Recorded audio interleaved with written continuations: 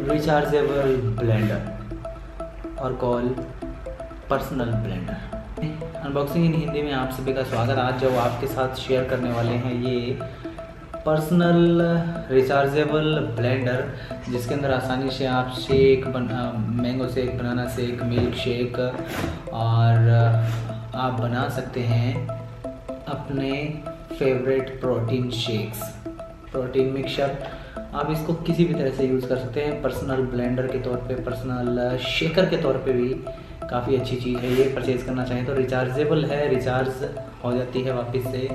Charge कीजिए और use कीजिए।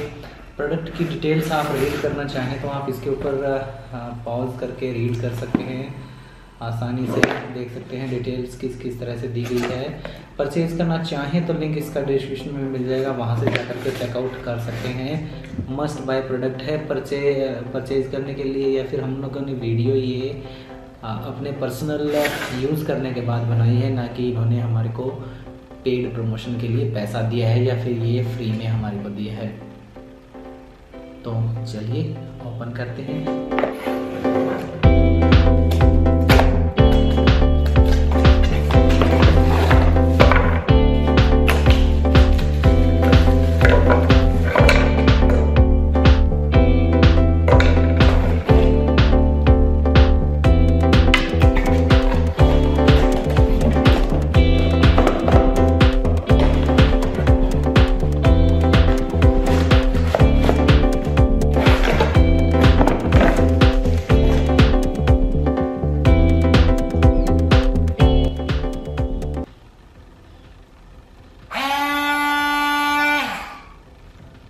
तो देख सकते हैं जनाब, कुछ इस तरह का है आपका ये पर्सनल ब्लेंडर जो कि है ब्रेडिंग कंपनी का 400 सौ तक का ये आपके साथ में इसको साथ में जग मिल जाता है। और सबसे बड़ी बात, जब ये इस तरह से खुला होता है तो ये वर्क नहीं करता है। मतलब आपके हाथ कटने के चांसेस मिनिमल है, यानी बहुत ज़्यादा कम है।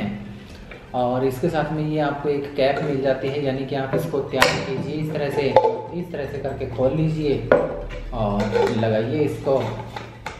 और आनंद लीजिए। मैंने इसके साथ मैंगो सेक बनाना सेक बाकी सारी चीज़ें बनाई है। मैक्सिमम ये दिया गया है यहाँ पर मीटर इस तक ही जब वो एक निशान दिया गया है। यानी इसको आधे तक ही भरना है मेरे भाई। उसके बाद इसकी मोटर जब वो बहुत ज़्यादा हैवी लोड सा मानने लग जाती है।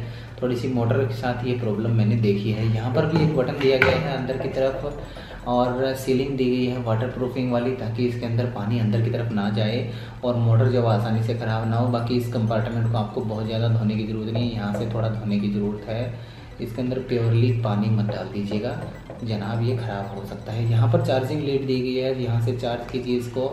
और ये बना देता है। तो मैंने इसके साथ काफ़ी सारे बार जो वो banana shake milk shake mango shake और प्रोटीन शेक काफ़ी चीज़ें बना करके देखी।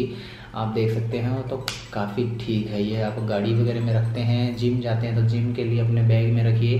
कहीं पर भी आप literally banana shake mango shake जब भी दिल करे फटाफट बनाइए और पिए हेल्थी ड्रिंक्स तो फटाफट हम बनाना शेक एक बनाते हैं और उसके बाद पीते हैं। परचेज़ करना चाहें तो लिंक डिस्क्रिप्शन में जा करके फटाफट परचेज़ कर सकते हैं। इसका प्राइस जो वो ऑलमोस्ट चेंज होता है। थाउज़ेंड रुपीज़ के आसपास आपको मिल जाएगा।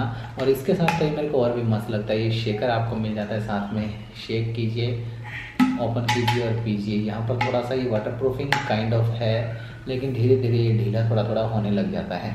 परचेज़ करना चाहेंगे जिस में है, फटाफट शेक बनाते हैं और पीते हैं, देखते हैं कैसा आता है मज़ा।